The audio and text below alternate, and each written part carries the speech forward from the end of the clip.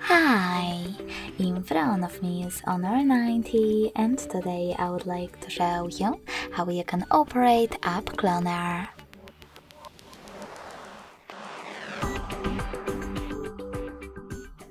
Begin by going into Devices Settings and scrolling down to Access Apps.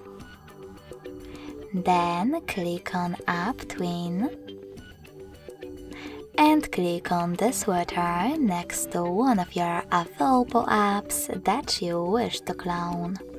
In my case, it's only Facebook. So when I click and wait,